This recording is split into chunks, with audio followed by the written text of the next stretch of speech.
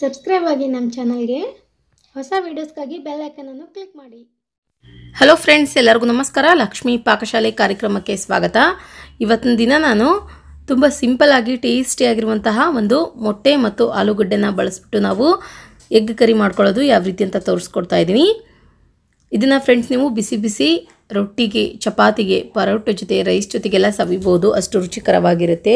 ಯಾವಾಗಲೂ ಒಂದೇ ಥರ ಕರಿ ಮಾಡ್ಕೊಂಡು ತಿನ್ನೋದಕ್ಕಿಂತ ಈ ರೀತಿಯಾಗಿ ಸ್ವಲ್ಪ ಡಿಫ್ರೆಂಟಾಗಿ ಮಾಡಿದರೆ ಮನೆ ಮಂದಿ ಎಲ್ಲರೂ ಕೂಡ ಇಷ್ಟಪಟ್ಟು ಊಟ ಮಾಡ್ತಾರೆ. ಬನ್ನಿ, ಹಾಗಿದ್ರೆ ಇದನ್ನು ಮಾಡೋದು ಯಾವ ರೀತಿ ಅಂತ ನೋಡೋಣ.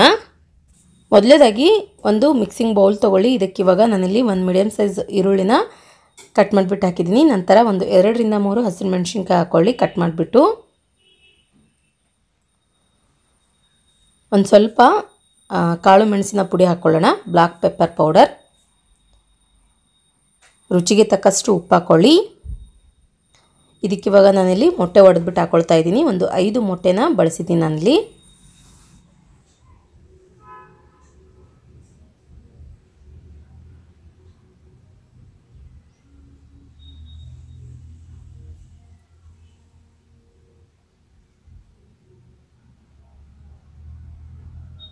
ಮೊಟ್ಟೆ ಸೇರಿಸ್ಕೊಂಡ ನಂತರ ನೋಡಿ ಇದನ್ನು ಒಂದ್ಸಲ ಚೆನ್ನಾಗಿ ಮಿಕ್ಸ್ ಮಾಡ್ಕೊಳ್ಳೋಣ.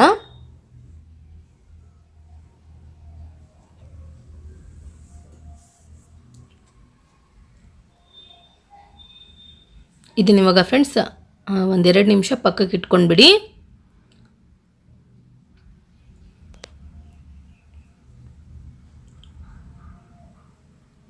ನಂತರ ಗ್ಯಾಸ್ ಆನ್ ಮಾಡ್ಕೊಂಬಿಟ್ಟು ಒಂದು ಪಾತ್ರೆ ಇಟ್ಕೊಳ್ಳಿ. ಪಾತ್ರೆ ಚೆನ್ನಾಗಿ ಬಿಸಿಯಾದ ನಂತರ ಎಣ್ಣೆ ಹಾಕ್ಕೊಳ್ಳೋಣ ಎಣ್ಣೆ ಚೆನ್ನಾಗಿ ಬಿಸಿ ಆದ ನಂತರ ಇದಕ್ಕೆ ಇವಾಗ ಆಲೂಗಡ್ಡೆ ಸೇರಿಸ್ಕೊಳ್ಳಿ.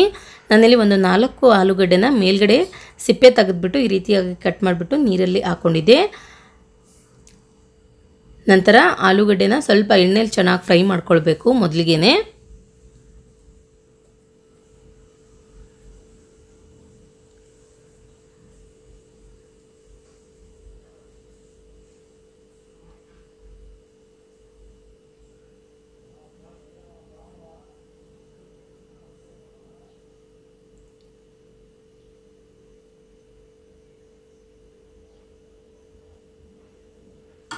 ಓಕೆ, ನೋಡಿ ಫ್ರೆಂಡ್ಸ್ ಇವಾಗ ಆಲೂಗಡ್ಡೆಯಲ್ಲಿ ಫ್ರೈ ಆಗಿದೆ ಇದನ್ನು ಇವಾಗ ತೆಗೆದುಬಿಟ್ಟು ಒಂದು ಪ್ಲೇಟ್ನಲ್ಲಿ ಇಟ್ಕೊಳ್ಳಿ.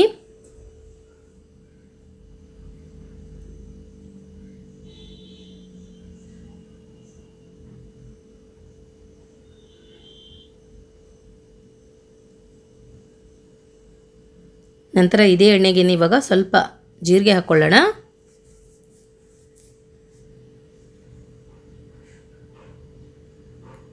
ಸ್ವಲ್ಪ ಕರಿಬೇವಿನ ಸೊಪ್ಪು ಹಾಕ್ಕೊಳ್ಳಿ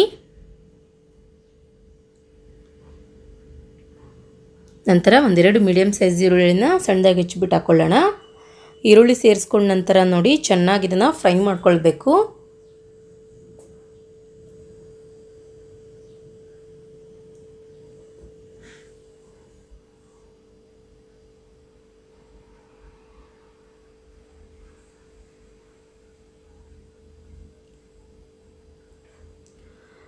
ನಂತರ ಇದಕ್ಕೆ ಇವಾಗ ಒಂದೆರಡು ಟೊಮೊಟೊ ಹಣ್ಣನ್ನು ಗ್ರೈಂಡ್ ಮಾಡಿಬಿಟ್ಟು ಹಾಕ್ಕೊಳ್ಳಿ ಟೊಮೊಟೊ ಸೇರಿಸ್ಕೊಂಡ ನಂತರ ನೋಡಿ ಮತ್ತೆ ಒಂದ್ಸಲ ಇದನ್ನ ಚೆನ್ನಾಗಿ ಮಿಕ್ಸ್ ಮಾಡ್ಕೊಳ್ಳಿ.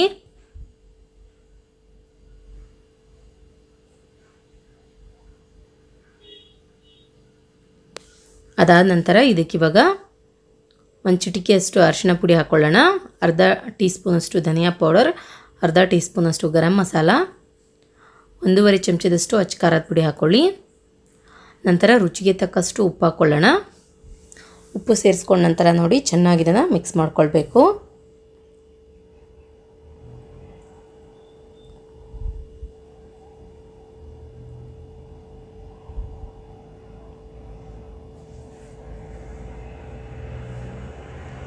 ಅದಾದ ನಂತರ ಇದಕ್ಕೆ ಇವಾಗ ಕಟ್ ಮಾಡಿದಂತಹ ಆಲೂಗಡ್ಡೆ ಸೇರಿಸ್ಕೊಳ್ಳೋಣ.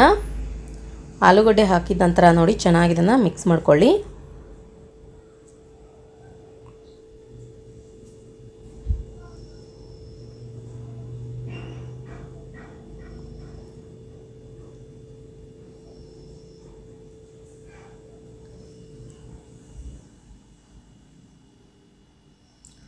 ನಂತರ ಇದಕ್ಕೆ ಇವಾಗ ಸ್ವಲ್ಪ ನೀರು ಸೇರಿಸ್ಕೊಳ್ಳೋಣ.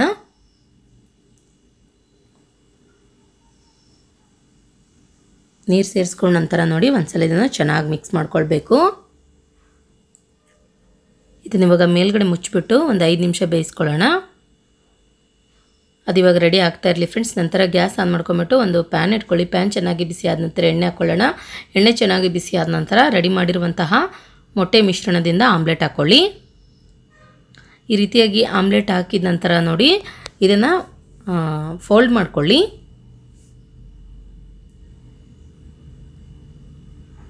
ರೀತಿಯಾಗಿ ಮಡಚಿಬಿಟ್ಟು ಎರಡೂ ಕಡೆಯೂ ಚೆನ್ನಾಗಿ ಬೇಯಿಸ್ಕೊಳ್ಬೇಕು.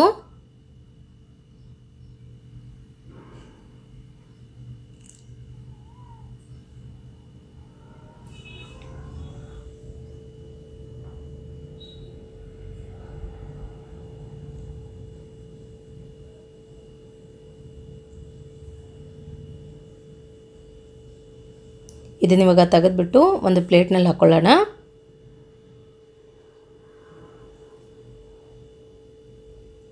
ಇದೇ ಥರ ಉಳಿದಿರುವಂತಹ ಎಲ್ಲ ಮಿಶ್ರಣದಿಂದ ಆಮ್ಲೆಟ್ಗಳನ್ನು ರೆಡಿ ಮಾಡಿಟ್ಕೊಳ್ಳಿ. ನಂತರ ಫ್ರೆಂಡ್ಸ್ ರೆಡಿ ಮಾಡಿದಂತಹ ಆಮ್ಲೆಟನ್ನು ಈ ರೀತಿಯಾಗಿ ಕಟ್ ಮಾಡ್ಕೊಳ್ಬೇಕು.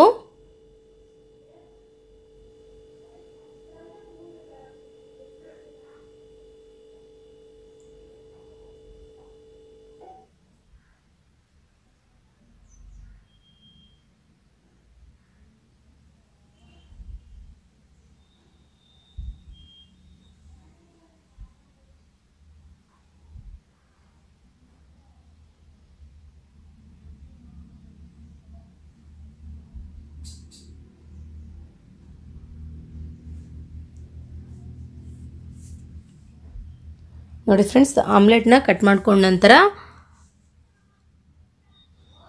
ಒಂದು ಐದು ನಿಮಿಷ ಕಂಪ್ಲೀಟಾಗಿ ಆಗಿದೆ ಆಲೂಗಡ್ಡೆ ಇಲ್ಲಿ ಚೆನ್ನಾಗಿ ಬೆಂದಿದೆ. ಈ ರೀತಿಯಾಗಿ ಚೆಕ್ ಮಾಡ್ಕೊಳ್ಳಿ. ಆಲೂಗಡ್ಡೆ ಚೆನ್ನಾಗಿ ಬೆಂದ ನಂತರ ಇದಕ್ಕೆ ಇವಾಗ ಕಟ್ ಮಾಡಿದಂತಹ ಆಮ್ಲೆಟ್ ಹಾಕ್ಕೊಳ್ಳೋಣ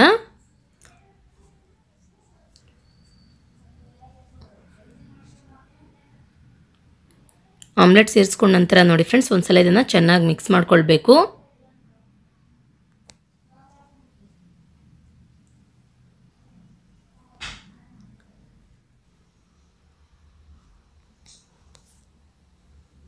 ಈ ರೀತಿಯಾಗಿ ಮಿಕ್ಸ್ ಮಾಡ್ಕೊಂಡ ನಂತರ ಇದನ್ನ ಇವಾಗ ಮೇಲ್ಗಡೆ ಮುಚ್ಚಿಬಿಟ್ಟು ತಿರ್ಗಾ ಎರಡು ನಿಮಿಷದವರೆಗೂ ಬೇಯಿಸ್ಕೊಳ್ಳೋಣ.